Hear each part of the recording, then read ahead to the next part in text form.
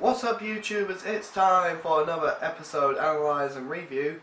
And today guys we're going to be looking at episode 35 of Yu-Gi-Oh! VRAINS and yeah guys, with uh, the last episode ending on quite the traumatic event, Blue Angel losing, this episode is going to be chock full of emotion considering this episode is going to have a lot of Blue, a Blue Angel lovers just actually in a just actually full of anger. I don't know uh, if I just if I explained that well. anyway, guys, I definitely know I was um, not happy because it first started off with Blue Angel unconscious on the floor, completely destroyed. Man, she put me in tears. okay, it's just a metaphor. It's just a metaphor.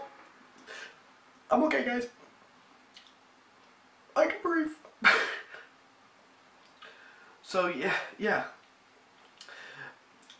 After Spectre disappeared, a brother went into the invasion to try and get back, only to be stopped by Dr. Kon Konami. I think I pronounced that right. so yeah, we then had the opening scene, which is still awesome. I love the opening.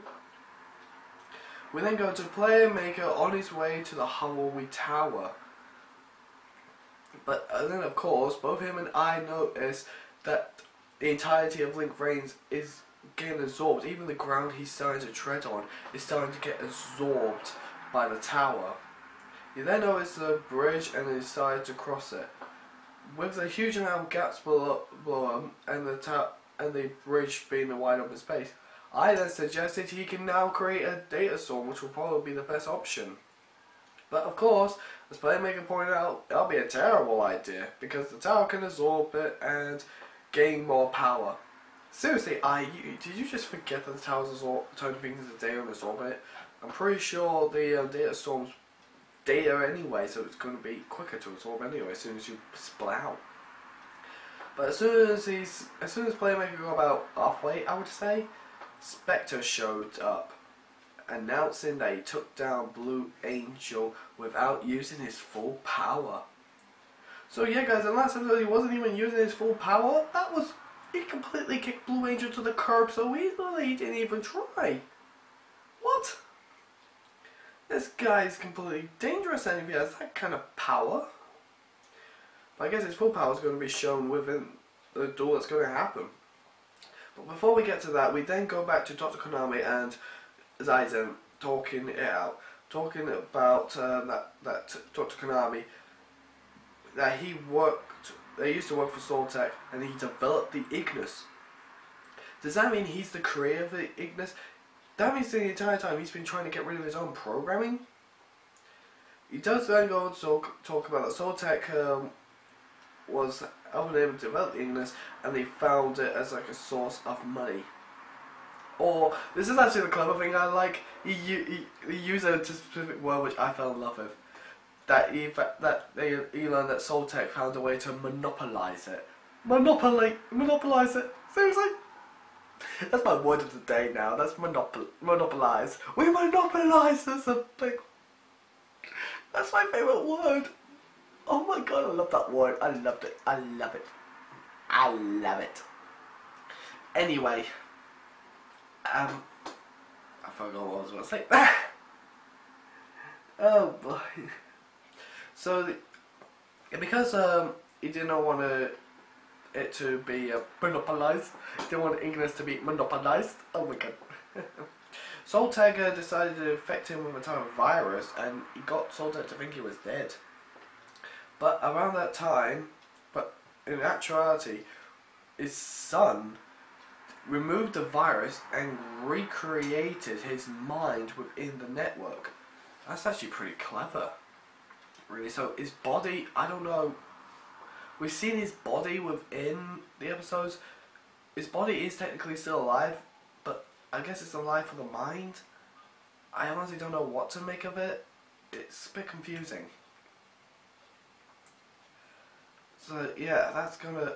So what is actually going on with his body? Because we might learn sooner or later. Maybe his body's still alive to keep his mind going, but since it's now digitalized, um, I really would see the body being useless now since his mind's in the, net- the network. But I guess it's linked to the network, I guess, so that way he can like run off his memories. Probably. That's the only idea I can think of. This is turning into Sword Art Online.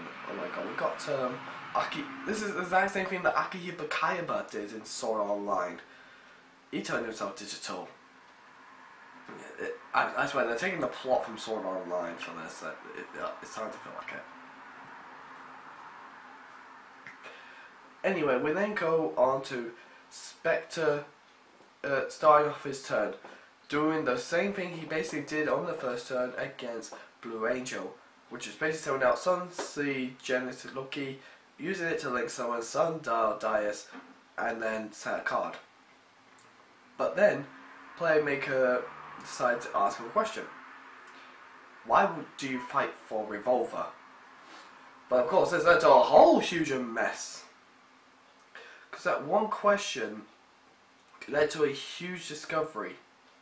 Spectre is one of the kids that got abducted alongside Yusaku all those years ago. Spectre of all people! He's an abducted person, so why would he fight alongside Nasa Haoi that did this to him? We learned that his childhood was an isolated one. He always stuck to himself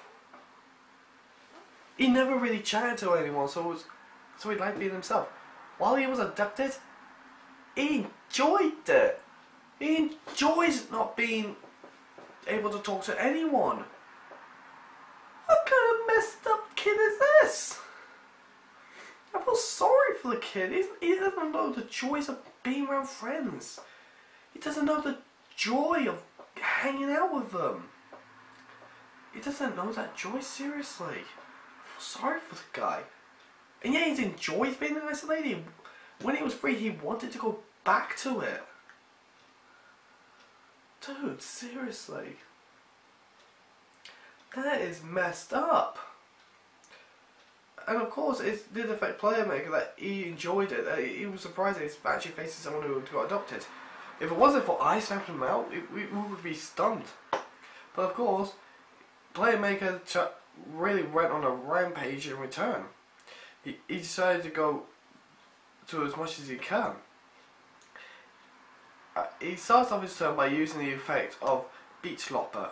By setting a level 2 alone monster in his hand, he can special summon it. So he sends the level 1, let, let's see, I probably pronounced that wrong. Special summon Beat Long. And then he used Bitlong to link summon out Link Disciple. Then he special summons out Link Interfly. Since there was a Link monster on the field, he special summoned it.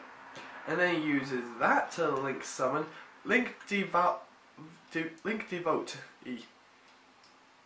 And then, since he was special, since was special summon, Playmaker cannot link summon Link 3 or higher Link monsters for the rest of the turn. So no decode tokens, then he's down to only Link 1s or Link 2s. So that, so of course, that's not going to stop him. This is our playmaker we're talking about. He then activates Link Disciple effect. Once per turn, he contribute a monster, monster Link Disciples point to to draw a new card, and then place one card in his hand to the bottom of his deck. Playmaker then activates Link Devote's effect. Since it was tributed, it can it can then special summon two Link tokens. Then he knows someone's Cyberse Gadget and then activates effect. And while it was normal summon, Playmaker can special summon a level 2 or low or monster from his graveyard, but its effects are. So it brings back Lattery, the card he disguised, disguised to use Big Lopper. He then um, uses Lattery and Cyberse Gadget to link someone out, Binary Sorcerer. He then uses and then since uh, I've lost my place, guys, give me a second. Since it was, since Link Disciples was sent to the grave, field to the grave, a playmaker activates uh, the effect of Cyberse Gadget. allowing his special summon out one gadget token in his onto his field. Then uses the gadget token and link disciple to link someone out multi-string hammer. He then uses brain resource. Uh, oh, sorry, no, he connects to brain resource. he then uses two link to the last two tokens on two link tokens on his field to link someone out Binary Blader. So yeah, his field is completely set up with loads of Link 2 monsters are, about, are linked together, guys. This is going to get awesome. He was linked summoning like bonkers. I think he linked summoned about five times. Even I haven't even managed to do that yet. He then attacks with Binary Sorcerer. However, it could. However, remember the tree cannot be attacked, so it was a direct attack. However, since Spectre received damage, he activated effect of Sundial Dias, allowing him to co instantly call out a link monster, a Sundial link monster. Depending on the damage, I would say that that makes it more balanced. So he called out Sundial Dias. So, oh no, wait, sorry, no. He sums it out near the hour, Sundial Dias is called. he sums out Sundial Gardener, and then he gains the life points equal to the damage he took. So he got basically no damage. And then, add more to the story. Afterwards, we had him talk about why he liked his tree cards. We basically now know why he's got a big massive tree for a boss monster. Because it was raised by a tree. Yeah, you heard me. He was raised by a blicking tree. This tree protected him from natural disasters. This tree protected him from wild animals. While growing up, what the flip? He was a baby in the tree to all this. I'm pretty sure he was imagining the entire thing. At, last time I checked, a tree cannot just go whoosh branch down there, protect the child, whoosh branch goes back up. Oh my god. What is going on? This dude is seriously therapy. Oh my god, this dream was basically his mother? What? What? What? What? This dude really needs therapy. It's only hurt more though when he came back from being adopted and his tree was cut down. Honestly guys, I, I'm so annoyed at that fact. A tree. Is it a tree? Playmaker, kick his ass. Kick his butt. Burn that tree. Do something to that tree and get rid of it. Kick, get it gone.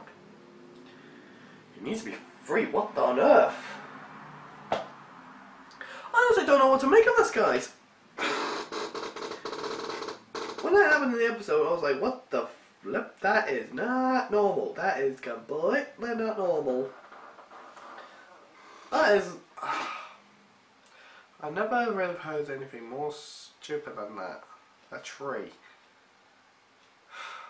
But yeah, I'm gonna leave it at that, guys, before I really go ranting about it. Uh, okay, I don't know why, but this episode didn't really hook me in as much. Um, I did like the fact that um, that it didn't just instantly digitize village. I gave it, I gave it, at least they gave us some fan service for with just her line there. The duel was pretty intense. I do like the fact there was five link summons, but um, it's this story. I feel like there's a real lot of holes in it. I like the fact that they made it made Spectre a survivor like Yusaku, but honestly, what is going on? The rest of the story doesn't really make any sense. I liked how where they were trying to go with it. It was like a lone wolf, and um, got picked up by Revolver. He saw Revolver's event. He devoted his life to him.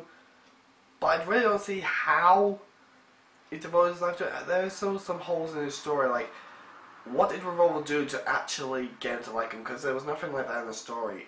Did he, he, honestly, what story he's told us, he just appeared out of nowhere. So there's a hole in the story somewhere. We need that hole filled. I, I, I can't accept that story at the moment. It, there has to be more. There, there should be more. I don't see Lonely Tree Boy a revolver and instantly become you're my master. There's something missing. But this episode did give us something epic. This gives us some epic moments, some epic information. It it has to be a four cards out of five at the moment. That's the highest I'm gonna give. I'm not gonna give it five. I can't give it three. That won't do it justice. I'm not giving it the fifth, just because of Spectre's story. It feels like it's missing a lot of things. And just for a brand new episode, it doesn't feel right. I don't even know if we're going to continue on with Spectre's story in the next episode. That's why it's going to be four. Who knows? Who knows what happens in the next episode, guys? I actually skipped the preview because that true story just couldn't take it. But yeah, that's it for this episode, guys. I'm now going to go wash my brain of that thought of being raised by the tree. What the flip was wrong with him? So until next time, guys, this is me signing out. Bye bye bye.